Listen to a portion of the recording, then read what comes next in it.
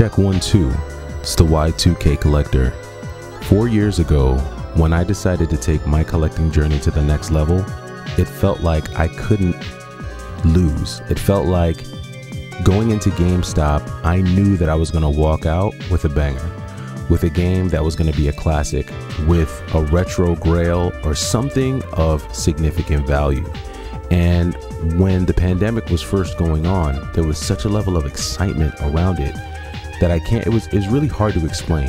It felt like it was more than just the gaming community that was soaked into retro games. It felt like everyone was into retro games moms, dads, children. I remember going to game stores and seeing uh, folks who openly admitted that they hadn't cared about video games in 15 years, but being home and being stuck in the house made them remember wait, wait, you know what? 15, 20 years ago, I did like Super Mario. And I would watch these ad- adults, you know, a lot of it, would, it wouldn't even be kids, it wouldn't even be teenagers. It would be Generation X folks coming into retro game stores looking for a Nintendo, looking for a Super Nintendo so that they could get their game on. And for me personally, I had always been into video games and I had always enjoyed video games, but I decided at that time to kind of take my collection to the next level. And I definitely made some mistakes along the way. I definitely have some regrets, but throughout the journey, I, I learned, I grew, and I, I came to understand what it, what exactly it was that I wanted to have in my collection. And so now, four years later in 2024, with much of the video game hype having died down and a lot of the peripheral collectors kind of leaving the market, we find ourselves in a place where things just aren't the same as they were even just four years ago. The the gaming and especially the retro gaming market has become so fierce, so intense um, that it's it's difficult. You know, game hunting actually feels like hunting, whereas before, it, yeah, we called it hunting, but it, it really didn't feel that way. At least not to me, someone who even and as intense as, as, I was at that time, I still felt like I was more of a casual hunter, a casual game collector. Um, and at you know at that point in the collecting journey, I think I was mainly looking for two things. One, I was ch- definitely chasing the nostalgia of games that I played as a kid. Um, but then, two, uh, I think I was also looking to experience those games that I had definitely heard about as a kid, but never never got a chance to whether it was because of financial constraints or just my parents didn't you know didn't like the game that i was into whatever the reason was and then there was that that third element of curiosity you know of just about games that i had never heard before that i found myself saying whoa this existed and i wanted to try it out so I, like many others, decided to go on a game collecting and hunting journey and build this collection. And once I finally got into it, it took off. GameStop became one of my best friends because I would constantly go in there and find classic games. Everything from Super Nintendo grails to Game Boy Advance games. I would find NES games, Nintendo 64 games, and at that time, GameStop was just hot. Not only because they had great inventory, but they were even hot on the stock market. You had people betting, um, you know, you had people on one side shorting the stock, you had one side on people on the other side buying the stock, and I think at one point GameStop's Game GameStop's stock price, um, I think, was touching over 400, uh, close to 500 bucks. Um, and it wasn't just you know GameStop; it was the retro stores and the thrift stores. I would walk into thrift stores and find amazing GameCube games for five bucks, for four bucks. I would run into classic DS games for two bucks and three bucks. I would pick up entire systems, entire bundles, video game bundles, including the console, two controllers for 30 bucks. It was just a great time. And if you remember that time, put a comment down. You know, let us know down in the comments if you were able to take uh, advantage of any deals. But the beauty of it was, for me, was that I didn't have to, you know, go to a bunch of yard sales. I didn't have to go to Facebook Marketplace and you know, um, solicit and, and see who had things to sell. They were just readily available. It was it was kind of like the calm before the storm. It was it was kind of that period before I think people really started to kind of grasp the value in games. And I don't think there was as much of a monetary factor for it. I think that the folks who were already into video games were just going out there and just taking advantage of you know the games that they were able to find the games that they were able to source and they were just building their collections. And that was me right? That was me. I was not hitting up yard sales. I was not you know doing the facebook marketplace thing but i definitely had my few stores that i would hit up on the weekends or whenever i had a spare moment. I would definitely try to hit up those stores and and just by doing those small things, I was able to build and grow a strong collection of video games. And you know the, the the sales and the deals just kept on coming. I i kept on finding them and i kept on building them. Um but there was a point where i feel like it started to get out of hand. Um i just found myself buying games that i knew i wouldn't really play um, and I found myself buying certain things just because I knew that they were retro. I knew that they were old and I had that retro bug, and I still do. I still do.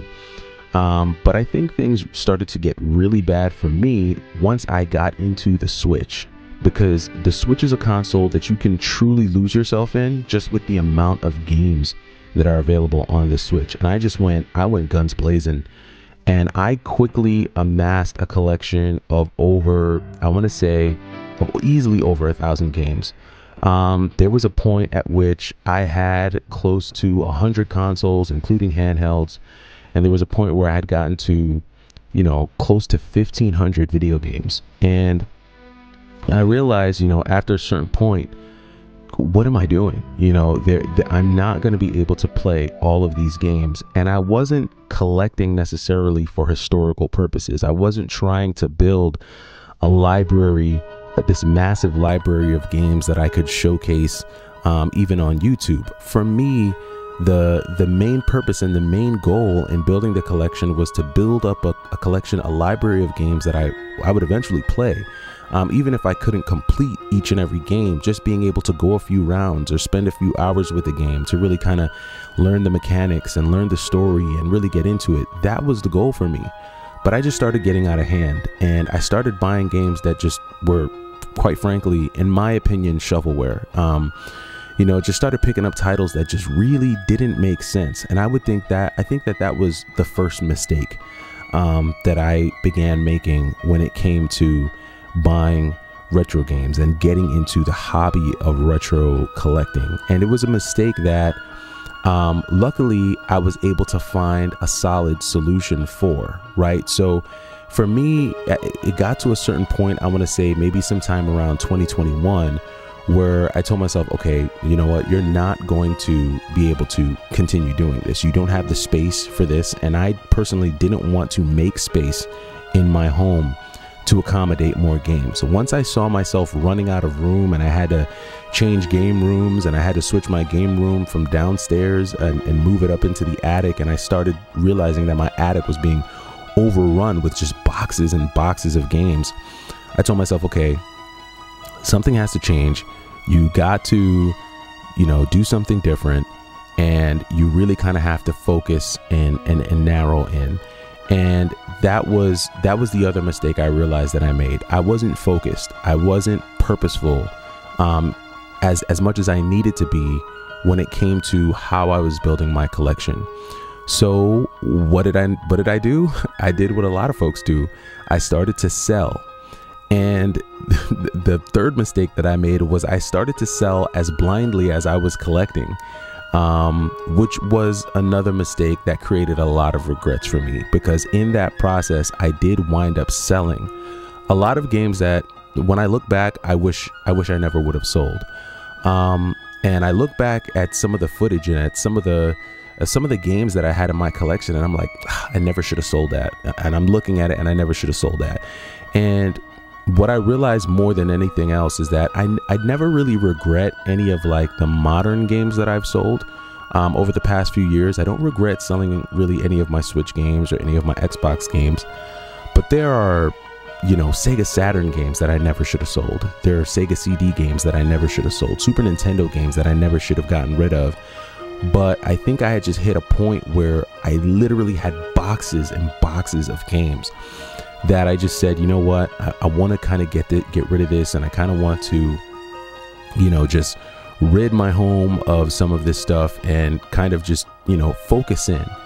Now, the good thing is that um, I was able to eventually start to focus in and narrow in on what I what I actually wanted to have in my collection. And around t- between 2022 and 2023, I realized, you know what, I want the old stuff. I think the retro games were really what I wanted to go after more than anything else. More than building a Switch collection, more than having a thousand Switch games, I really wanted to have unique, niche, um, retro games and consoles that represent an era that I grew up in and represent a time um, that I remember. And I kind of started looking at some of these systems and games as collector pieces, art pieces. And I'm not saying that you don't have Switch games that are collector pieces, but to me, I defined, I started to define what a collector piece meant to me.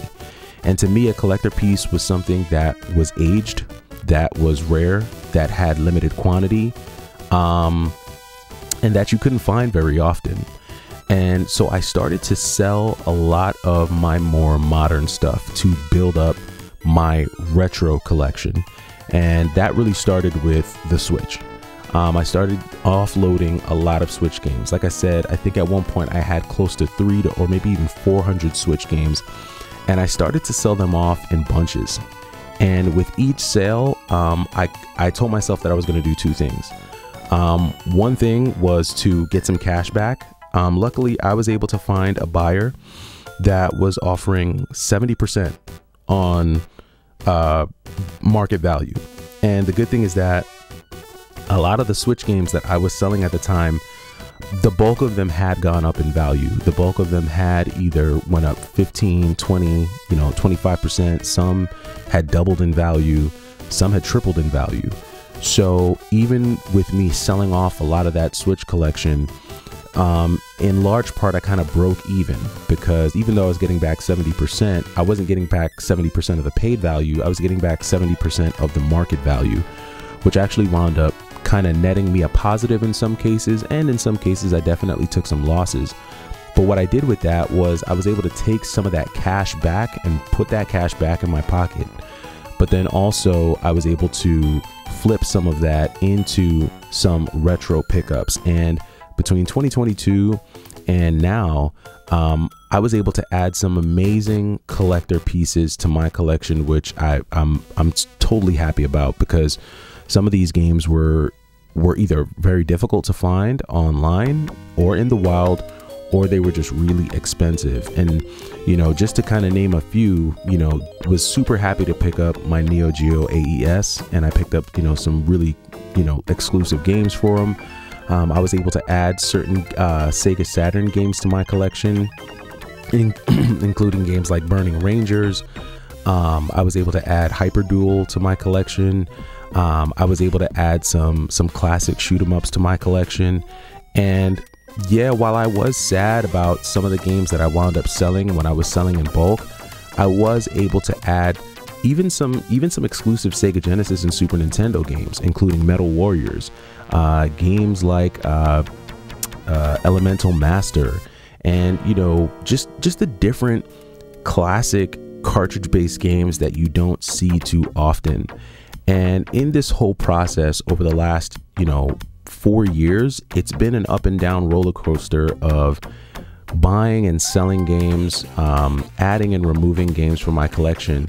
But I was able to kind of get rid of a lot of the fluff a lot of the, the you know the large number of games that I had and really scale it down to a smaller number but a much higher quality a much richer quality of games for me. Now some folks might look at my collection and say dude you're collecting this stuff that's ancient. No one cares about it. No one cares about retro games. No one cares about nintendo or super nintendo. But the important thing for me is that i care. I have a collection that i thoroughly enjoy games that I play when I have the free time, and games that I'm to continue to enjoy moving forward. And more importantly, I was able to get back a lot of the cash that I wasted. I did waste a good amount of money uh, with some of the games that I picked up, and it was good to be able to get some of that cash back. And for those who care about numbers, I mean, I was able to get back anywhere between ten and fifteen thousand dollars, um, selling off a lot of that fluff, and that's not including the value that I got in some of the, you know, in some of the uh, games that I traded for. Many of you know the Neo Geo is a very expensive system and just getting the console and three games you know was you know roughly around three to four grand just in getting that right so and that just kind of goes to show you you know some of the more expensive nintendo and sega genesis games that i picked up um, you know just five to six games um, totaled, you know, between three and four thousand dollars. You know, you have games like Burning Rangers, which go for you know, six to seven hundred dollars. Hyper Hyperduel, six to seven hundred dollars. Elemental Master, four hundred dollars. Metal Warriors, four hundred dollars. SWAT Cats. So you have these games that are just more expensive, but in a lot of cases they're not expensive for no reason because you do have games that are just expensive, but they're not very fun. Like you know, you know, uh, I think there's a bowling game on N64 which is 1200 bucks, but I- am not gonna play a bowling game. I, I don't care about bowling. Um, you have games like Clay Fighter Sculptor's Cut, which is a fun game, I'm sure, but it, it's probably ranked really low in, in the tier of fighting games. You know, there's a, probably a lot more fun fighting games out there than Clay Fighter Sculptor's Cut. But you have these games that are just expensive for the sake of being expensive. And I wasn't really chasing that. I was chasing classic games, specifically in a lot of cases, arcade style games, which take me back to a time where I was in the arcade. I was an arcade nerd. Every day after school, I was in the arcade kicking someone's butt in Marvel vs. Capcom. And yes, I was a beast. And yes, I did win tournaments back then. So that's what it became for me. And I gotta say, you know, after all this time, you know, we're I'm I'm officially going into the fourth season of game hunting. 2024, this is the fourth season that I've spent any amount of time kind of looking forward to picking up games, retro games. Um, and this is going to be a very interesting season for me. And I'll share with you why. Because with the change in the economy and with the change of, uh, you know, everything going up, inflation has been crazy over the last couple years. And I don't have, I'm not in the same place I was four years ago, right? Um, things have changed, expenses have changed, and now I have to be more mindful and more frugal with how I collect video games. And so I'm going to share with you my plan for um, adding games and building up my collection moving forward. I'm going to talk about what I'm focusing on. So, first off, um, moving forward into 2024, I I'm not really focusing on modern consoles like Switch games and things like that. If I do happen to see a Switch game that I think is really cool, I, I may pick it up, but I'll probably defer to the eShop for some of those games because I want to preserve the, the, the space in my home, the the real estate that I have in the attic is is is um, low, right? So I really want to just keep space on the shelves for for retro games that I want to add, and so I'm going to be concentrating on a few systems going into this uh, the rest of this year, and that's really going to be the Super Nintendo, the Sega CD, the Sega Genesis, um, and the Neo Geo, right? So my goal for the rest of this year is to add nine more rare retro games to the collection. Now, these games do happen to be on the more expensive side, which is why I'm only going to be picking up one game per month. So, I'll take you through the games that I plan on adding um, throughout the rest of the year. So, for the month of April, which starts tomorrow, because today is the last day of March, last day of the quarter. So, and this challenge will officially begin in April. Um, for April, the, the game that I'm looking to add is going to be Super Turrican 2. So that's one that I'm going to be looking to add on the Super Nintendo. Loose card, of course. I'm not paying um, complete in box prices um, for any of these Super Nintendo games. So from April, it's going to be Super Turrican 2. For May, I'm going to be looking to add Popful Mail uh, on the Sega CD. Uh, in June, I'm going to be looking to add a complete in box copy of Troubleshooter for the Sega Genesis. July, I'll be looking to add a complete in box copy of Grindstormer on the Genesis. August is going to be a big one because I'm going to really be looking to add a copy of Space Megaforce. Um, that's an NES, uh, sorry, a Super Nintendo classic, a space shooter there. Uh, in September, I'm going to be looking to add a cart only copy of Captain Commando. Uh, in October, I'm going to be looking to add a complete in copy of Hellfire for the Sega Genesis. November, going to be looking to add a copy of Dracula X, uh, Castlevania Dracula X to the uh, loose cart on the Super Nintendo. And then December is a bit of a wild card, but but December I'm going to be looking to add a copy of Blazing Star for the Neo Geo. I've been looking for a genuine, authentic copy of Blazing Star. I can't even find an authentic copy online anywhere. Um, I have been able to find like the MVS cartridges, like the ones that they would use in the actual arcade machines. Um, and I don't know if I'll have to default to that if I can't find like an, an authentic, you know, uh, copy for the AES. So I'm not sure how that will go. Um, but that is that's the, pretty much the lineup for the rest of the year. Those are the games that I'm going to be looking to add. Now I do have some alternatives in the event that I can't find those games. I do have some backup games, um, and those will be Alisia Dragoon, complete in box for the Sega Genesis, uh, Musya, the classic Japanese uh, samurai game, I think, uh, for the SNES loose cart.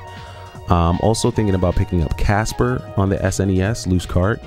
Uh, Pirates of Dark Water uh, on the SNES is another one that I'm looking for. Mega Man 7 loose cart, and then Truxton complete in box. Those, those are like the alternatives to the lineup that I have for the rest of the year. So all of these games are are pretty pricey. They're pretty expensive. Um, but I'm focused, right? That's the name of the game for 2024. If I'm going to continue collecting, got to be focused. And so that's where a lot of my focus is going to be. Um, and those are the games that I plan on adding to the collection. Now, I do have some side quests because I don't want to just feel limited to these really expensive games. So, one of my side quests for the rest of the year is I'm thinking about collecting all the Spider Man games that I have for, for the consoles that I have. So, like the Game Boy Spider Man games, DS Spider Man games, and that includes everything from the Amazing Spider-Man to, you know, Spider-Man on the uh, uh, Maximum Carnage on the SNES, right? So like any Spider-Man related game, I'm thinking about um, adding that as a side quest also thinking about adding the X-Men games. So any X-Men games that I don't currently have in my in my collection, I'm thinking about adding those. Really the retro ones, right? So nothing really super new. So if it's an X X-Men game like on the SNES, Sega Genesis, I'll I'll take that all the way up to probably the PlayStation 2. I'm looking to add that. Um, uh, another thing that I'm, another side quest that I have is I'm going to be looking for the Game Gear adapter for my Analog Pocket because I, I do want to start looking at some possibly some Game Gear games um, that I'm getting into. So that's a that's a side quest. Um, and then um, just potentially some random SNES beat 'em ups.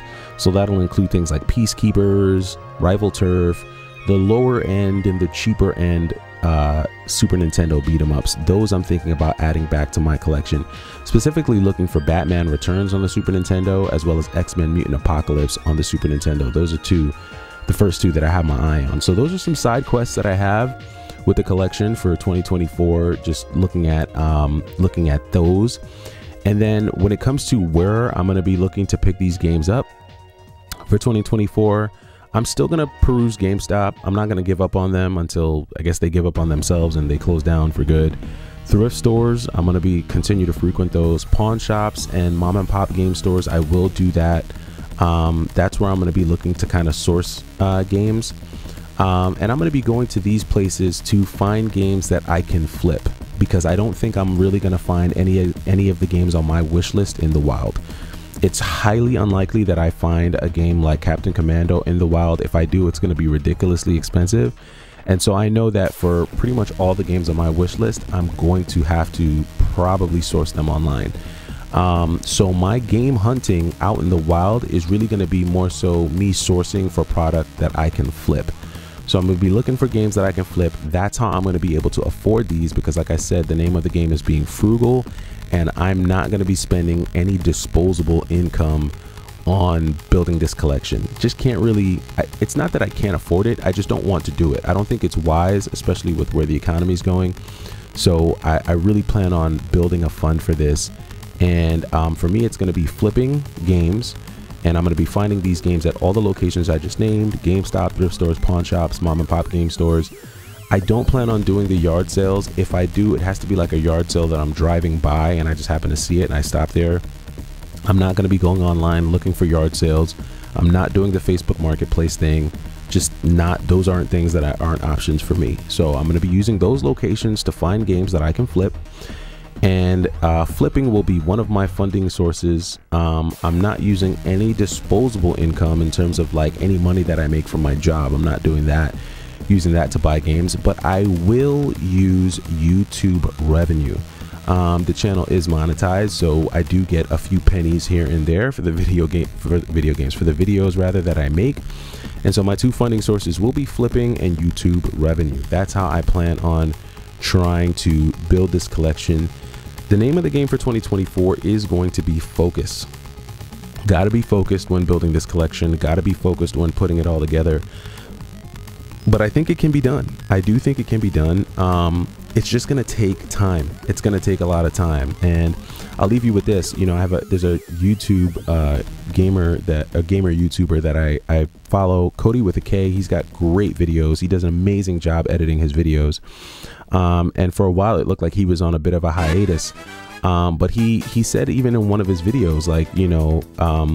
Bills are real. You know, he made a joke about the IRS, but that stuff is real. And when you're an adult and you've got bills and you've got expenses, you don't you can't just go out game hunting all the time. You have to live. You have to pay for food, you have to pay for shelter, um, healthcare, all those things.